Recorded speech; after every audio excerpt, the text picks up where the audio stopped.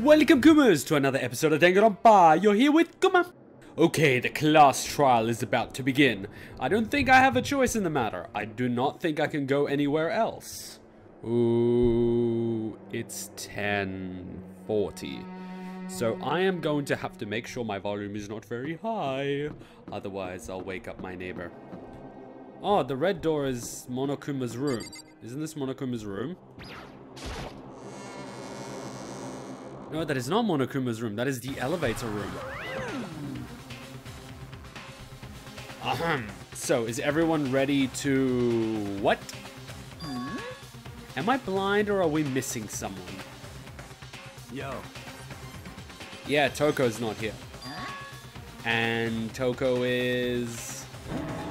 You really don't remember? Come on! Kidding, I'm just kidding. How could I forget that little nut job? okay. She's a crucial part of the class trial this time. What are you gonna do? Okay, Doki, I'll go ahead and drag her out of her kicking and screaming. Just one moment, please. What? And just like he said, a few minutes later, he reappeared dragging Toko behind him. Why could we not see that? I t- t- told him I didn't want to, but he f- forced me. I can't believe you would dare drag a girl around. Terrible. You're terrible. That's pretty scary. Phew. So now everyone's here, right? Okay then. Hustle onto the elevator and let's get the show on the road. I'll see you guys down there. let's go. So, shall we get going? It's time to find out who killed Chihiro. Chihiro. Chihiro Fujisaki. She was so gentle, so calm and meek. Nobody had any problems with her. Someone made the choice to kill a girl like that. Yeah, that's a pretty. Ugh. Anyways, and that murderer is one of us. Someone standing right here. Do I like pick who I think the murderer is? Because at the moment it's looking like Toko or Byakuya. Oh yeah, she's crazy. I gave you plenty to work with. Show us how far your logic can take you. Dick. Hey Celeste. There is something odd about Toko's behavior. I do not think mere shock is enough to explain it. I agree. What do you think, Aoi? I guess I wasn't much help at all on this one. You weren't helping the last one either. Giddy Giddy, you want to help me out here? Shall we go? You're the only one that wants to start this. Huh. I don't like... Very sad. Miss Fujisaki, I must admit, for being 3D, she was quite remarkable. Of course, just the idea of 3D makes me cringe. What's wrong with 3D girls? Seriously, dude, what's wrong with them? There's nothing wrong. I don't know why the killer did what they did, but I'm sure it'll work itself out. Justice always prevails, right, bro? What does your bro think? Hey, come on. Fucking Toko, man. Who's got her so worked up? Wasn't me. Sakura-chan, you Super Saiyan yet? Well then. I will uncover the villain who performs such heinous acts on a weaker individual. Hmm. Hmm. You ready? We're doing this? Uh, do I just click the door? Let us begin. We have no choice, right? We have to do this. Ah, she agrees with me. I gave a small nod in reply. With one last deep breath, I walked towards the elevator on shaky legs. With each step forward, I could feel my heart starting to race faster and faster. As soon as everyone was on, the elevator began to descend. I couldn't get a handle on my motions, couldn't stop speculating. It begins.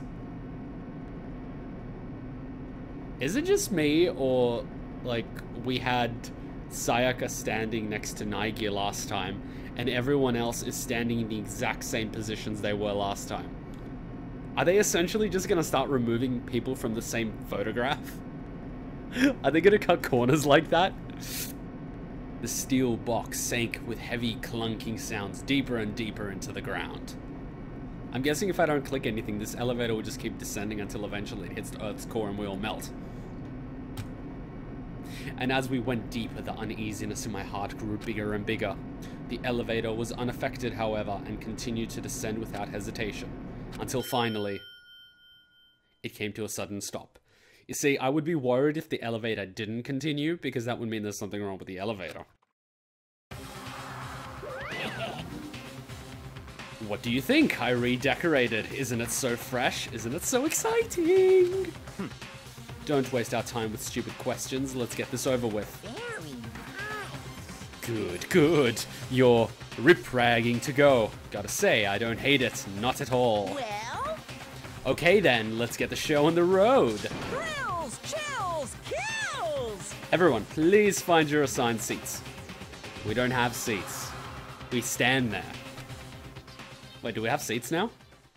And so, the curtain opened once again.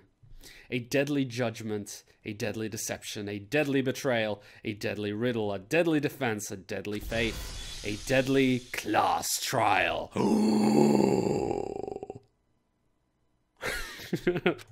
I'm trying not to ruin my hair. Yes. Wait, I had prep. I didn't prep before the class trial. Oh shit.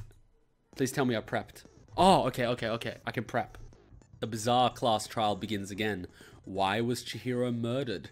Is the killer hiding within the group?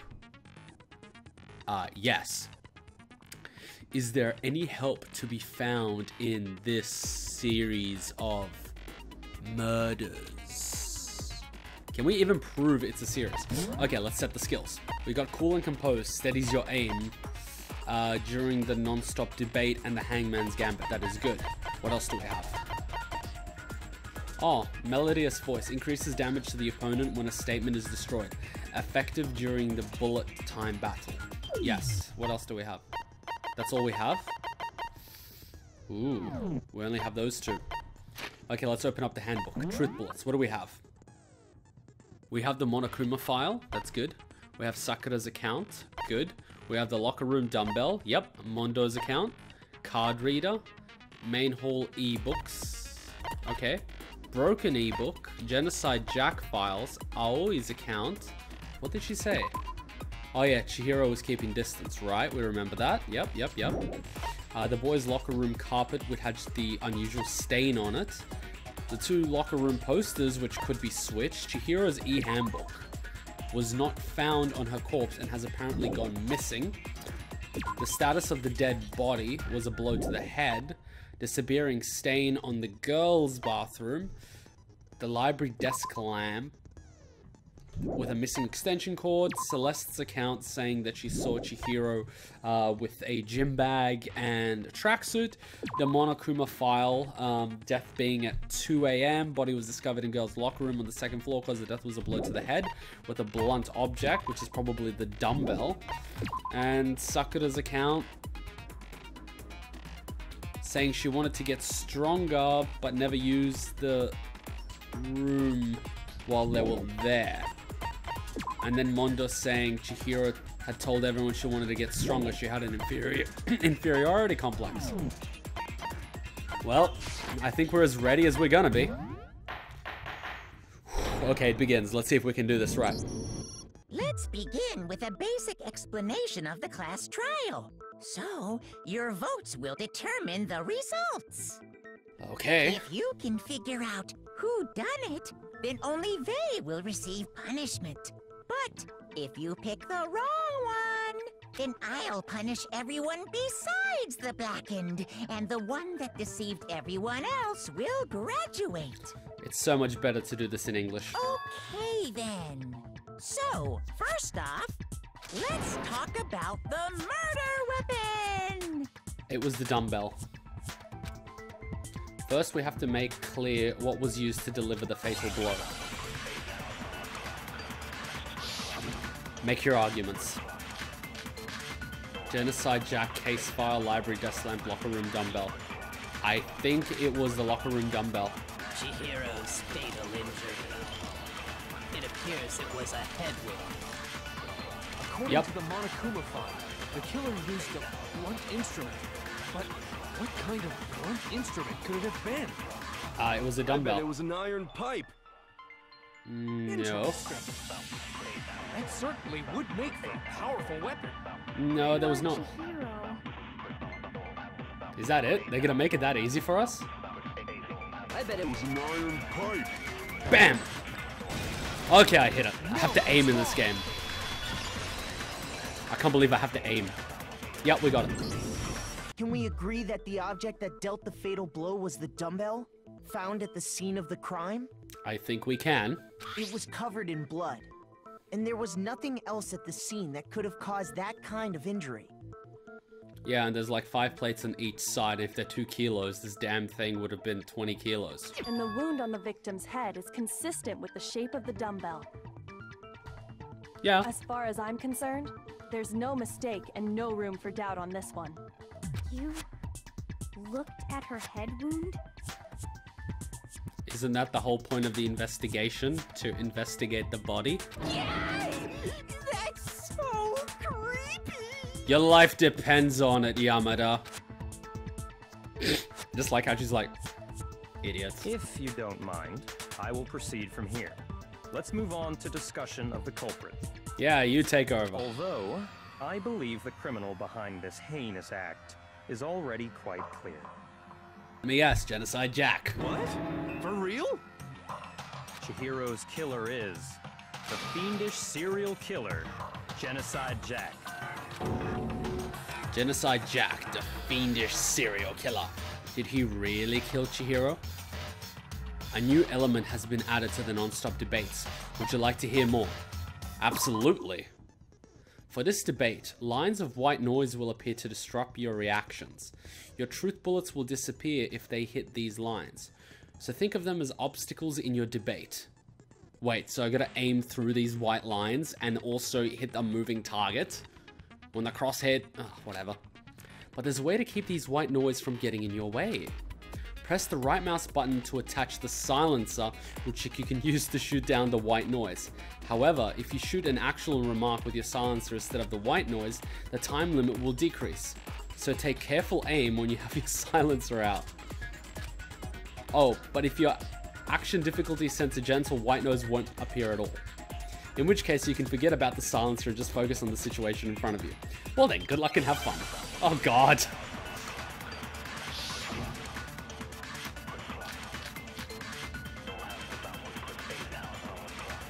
Yep. The culprit is Genocide Jack. I'm sure. Case closed, as far as I'm concerned.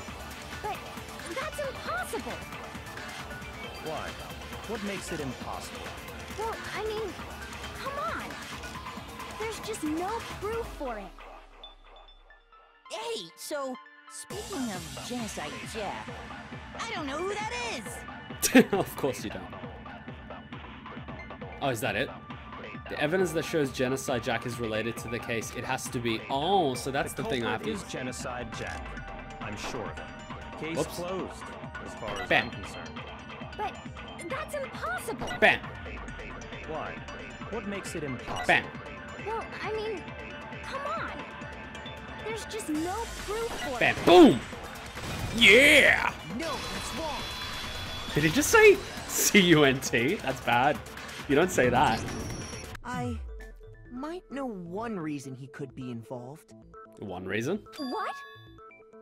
I found this file while I was looking around the archive in the library. I guess it's some kind of confidential file the police put together about the Genocide Jack case. Of course there's going to be a confidential police file. It's on an open case. What? That's kind of weird as shit, isn't it? What was something like that doing in the library? That is a good question. The why of it is probably more trouble than it's worth. So let's forget about that for now. More importantly, it outlines all the specifics of every Genocide Jack case in exceeding detail. Ooh. According to the file, there appear to be two defining characteristics in every Genocide Jack case. The first is that a bloody message is found written at the scene of every murder. Oh, that's right. Boob lust. Boob lust. And why did your voice change? And why is your head going? Is he playing with himself by any chance? Maybe. Ah, no. It's actually bloodlust. But more important is the other characteristic. And it's something that has never been made public. Never made public? What the hell is it? Why don't you tell them, Makoto? I thought you were taking care of this. The other characteristic of every Genocide Jack case, which the world at large doesn't know. I got it! Apparently, in every Genocide Jack case, the killer suspends the body in a certain way. Other than the killer, the only people who know about this are the higher-ups in the police department. However, Chihiro was most definitely suspended in the same way. You sure about that, buddy? So, how did the culprit know about this when only high-level police officials were aware of it? Uh, maybe the same way you do, because it was in the freaking library in the school. There's only one logical answer I can think of. It's because the culprit in this case is the real Genocide Jack. or they just went to the library. No fucking way! You're saying Genocide Jack is one of us? No. Yes, in fact, it's Toko. What? Genocide Jack's true identity is Toko Fukawa. Well, she has been acting really weird, so I wouldn't put it past her. Why is this guy overreacting to everything?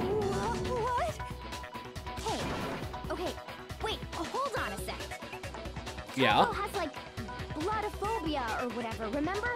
What kind of serial killer is afraid of blood? One with a split personality. Is Toko Genocide Jack? The answer is yes and no. Another riddle. Man, why is this gotta be so complicated? Okay, you shut up until you say something useful for once. It does seem like a riddle in a way, but I feel like I can just about see it. Genocide Jack is Toko, but isn't Toko. What does it mean? Well, it means she has split personality syndrome, which explains why she's so crazy. Oh, Gambit. H I S N. Uh. Hey, fuck, what is it? What is it? Oh my god. What am I shooting? Nobody seems to believe me. Nobody wants to hear what I have to say. Uh oh, we have already come to the end of the debate. Well then, the class trial is officially adjourned. Now it's time to reveal who's the blackened. Boop, boop, boop, boop, boop. Do we all die or something now? It would appear that the one with the most votes is Makoto. Why is Makoto the one with the most votes? However, Makoto is not the blackened. Looks like the real killer gets to graduate. I refuse to give up yet. Shut up, Makoto. Why do they always vote for me? Am I the most suspicious? I'm the most incompetent. Okay, let us begin again. Okay, Hangman's Gambit. So the first letter is S.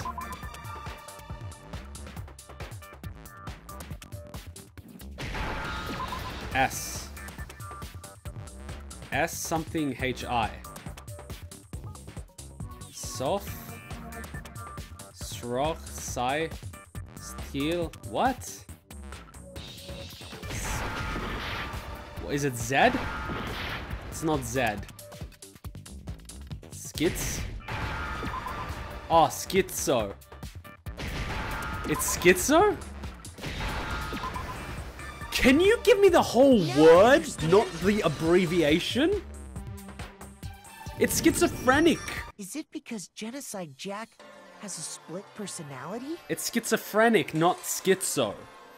Huh? I think I read that somewhere in the file too. This is so nub. They thought that the suspect might have, what did they call it? Dissociative identity disorder.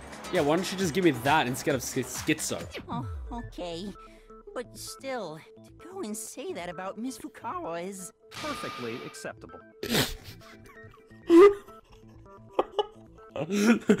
to go and say that I've been perfectly acceptable. Toko's strange behavior after seeing the body is proof enough that she has a split personality. the one thing that shows Toko could have a split personality, it has to do with her behavioral change, I think. You're talking about how she started acting totally different than usual, right? Yeah, she went from being a complete biatch to everyone to being somewhat weird. That's right. Think back.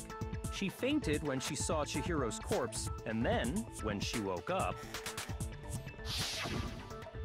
her tongue was out and like her face was all weird. I'm fine, I'm fine. ah, is that a dead body? How are you, dead? Oh, wow. Okay, she's weird. She must have hit her head real hard when she fainted. The world has a front and a back, a top inning and a bottom, a sea of truth and a web of lies. This is quite concerning. I mean, she sounds completely different. Yeah, the whole voice change thing. Funny, that's for sure. That melancholy tone of hers completely disappeared. I know, right? It's almost like she's a human being. Don't go assigning adjectives to my tone without permission.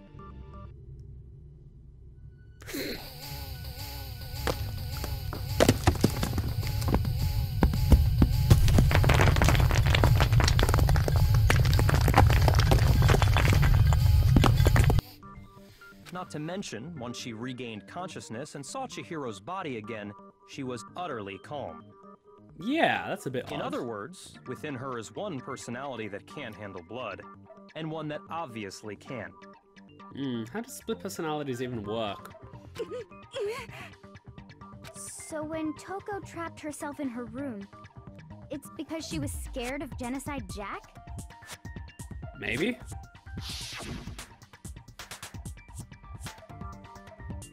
I won't let Genocide Jack have control. Oh, that explains it. I'll drive out the killer. Drive out the murderous fiend. The reason she locked herself in her room wasn't to keep other people from getting in. It was to keep her other personality from getting out. Oh. What? Toko was afraid. Afraid of the murderous fiend inside of her. Of killing even more people. Uh-oh, you're caught red-handed. Yeah. How can you know all this? I do believe you misunderstood her. What she's trying to say isn't, how can you know all this? No. What she wants to know is, how could you tell them? Huh? Last night, just before Monokuma gave his motive speech, Toko and I had a strange conversation. Oh, here we go. She told me a most interesting story. She said a murderous fiend lived within her, and she was afraid it could appear and attack at any time. And that is just casually what you slip into conversation when you're talking to a guy that you like. And that trepidation is what's caused her to have such a bleak attitude. Isn't that right, Toko? Trepidation, a new word I learned. Ah, she looks a little upset. This is all a lie. Right, Toko? You said you wouldn't tell anyone. Uh-oh, she's triggered. What? You promised. I can't believe you lied. This surprises you in a life or death situation? You have only yourself to blame. You came to me with your tragic little story. I didn't ask you to. So you're the type of guy that can't keep a secret if anyone tells you. You'd make a terrible criminal lawyer. This is the real world, not some romantic fantasy fairy tale. Okay, now I agree with him on this one.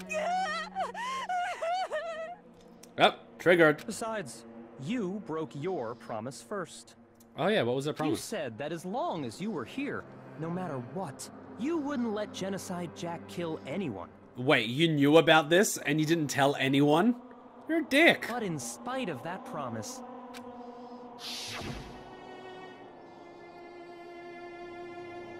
I'm sorry, I couldn't keep our promise. Ah, shit.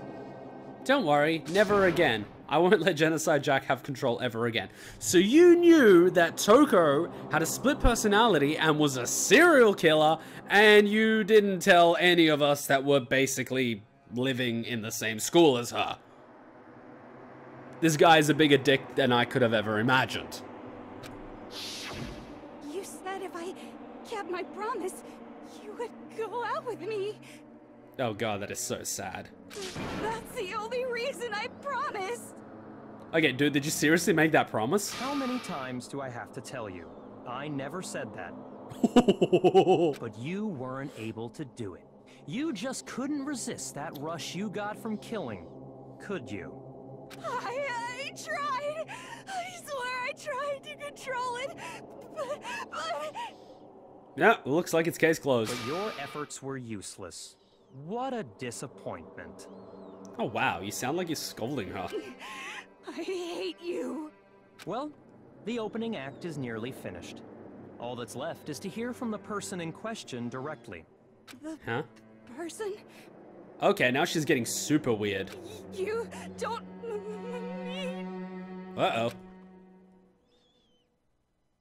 Toko's body suddenly lunged backwards. A huge thud echoed from across the courtroom, but in the next second... What? Well, hello there. Is it me you were hoping to see? What the fuck? what the heck? yeah, you're standing next to her.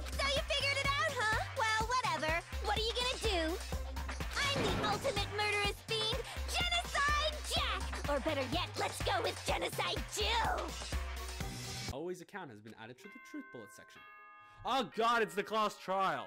Wait, I didn't even find a duffel bag. No!